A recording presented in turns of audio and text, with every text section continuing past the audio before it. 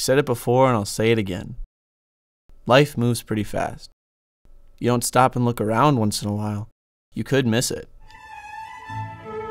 What's so dangerous about a character like Ferris Bueller is he gives good kids bad ideas.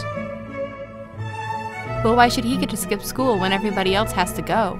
Syphilitic meningitis? Never gets caught.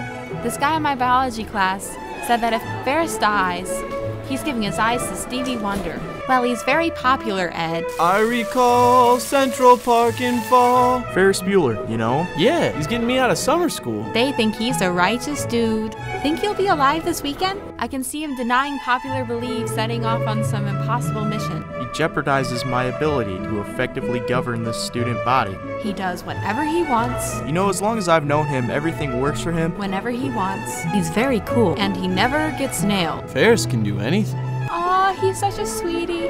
Wake up and smell the coffee, Mrs. Bueller. It's a fool's paradise. He is just leading you down the primrose path.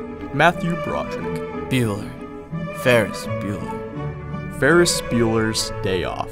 Because life is too beautiful a thing to waste.